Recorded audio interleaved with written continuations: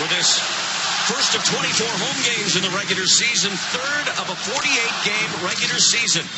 It's going to be a much different year, and you think a normal season goes by quickly. This one will fly by as a hit behind the Phoenix net. Tommy Wingels checked into the boards from behind, right in front of the referee who elects not to call it.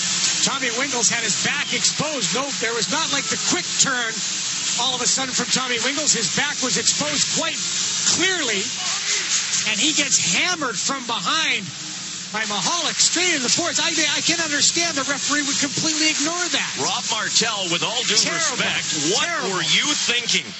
Terrible.